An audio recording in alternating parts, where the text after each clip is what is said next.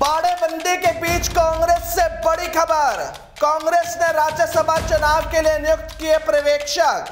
तीन राज्यों में नियुक्त किए पर्यवेक्षक। राजस्थान के लिए पवन बंसल और टीएस देव सिंह। हरियाणा के लिए भूपेश बघेल और राजीव शुक्ला। महाराष्ट्र के लिए मल्लिकार्जुन खड़गे पर्यवेक्षक नियुक्त किए गए।